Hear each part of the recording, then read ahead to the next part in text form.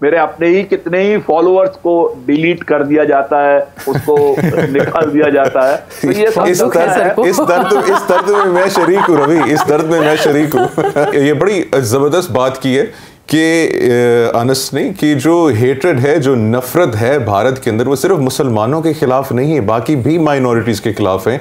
और माइनॉरिटीज़ का इस वक्त आप सर्वाइवल कैसे देखते हैं आने वाले पाँच या दस साल में रवि?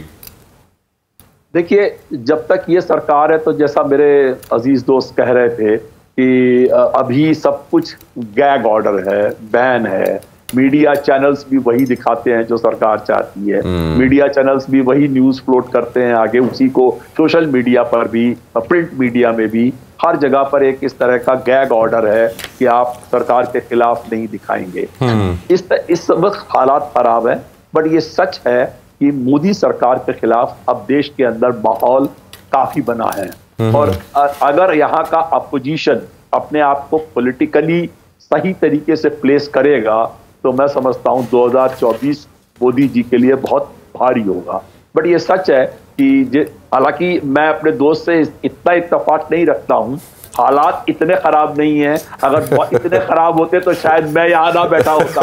और मैं अपने अपने मुल्क ही सरकार के खिलाफ इतनी बातें न कर रहा होता।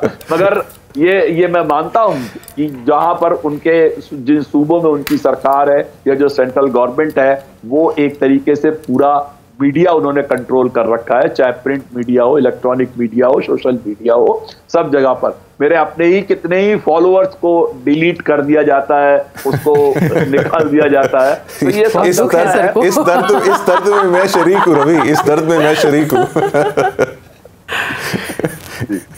तो ये ये ये सच है जो मेरे दोस्त कह रहे हैं पर यह है कि इसके बावजूद भी यहाँ पर जो एक कांग्रेस है या अपोजिशन पार्टीज़ हैं एक आम आदमी पार्टी है एक टीएमसी है, डीएमके है, बीआरएस है, ये सब पार्टियाँ अपने अपने सूबों में और सेंट्रल लेवल के ऊपर अपना पूरा विरोध जो है वो दिखाती हैं अपना पूरा जो है वो दिखाती है। रवि भाई रवि भाई आपका जो दोस्त है ना जो मेरे साथ बैठा हुआ है ये कुछ कुछ कहना चाहता है? कुछ अर्जी कुछ अर्जी है इनके पास? पहले तो अस्सलाम वालेकुम Ravi. Thank you so much मेरे पॉइंट एग्री करने के लिए। मैं बस ये थोड़ा सा बोलना चाह रहा था कि आपके मुल्क में शायद बोलने की इजाज़त हो लेकिन बोलने के बाद आज़ादी की इजाज़त है या नहीं ये अभी डिसाइड होना बाकी है। अभी तो आप लाइव है ना शो के अंदर। वो मुझे याद है वो जो पाकिस्तान क्रिकेट मैच जीता था तो बेचारे कश्मीरियों ने नारे लगा दिए थे ट्वीट श्वीट कर दिए थे उनको भी जेलों में ले गए थे जाके डंडे शंडे मारे थे कि भाई क्या हिम्मत कैसी हुई तुम्हें तुम लोगों की पाकिस्तान को सपोर्ट करने की रवि अपनी लाइव लोकेशन शेयर कर लीजिएगा हमारे साथ हम आपको ट्रैक करते रहेंगे। नहीं जोक्स अपार्ट देखे मैं मैं एज एज ए पाकिस्तानी चाहता हूँ कि जी दोस्ती शुस्ती हो, दोनों ममालिक में हालात बेहतर हो।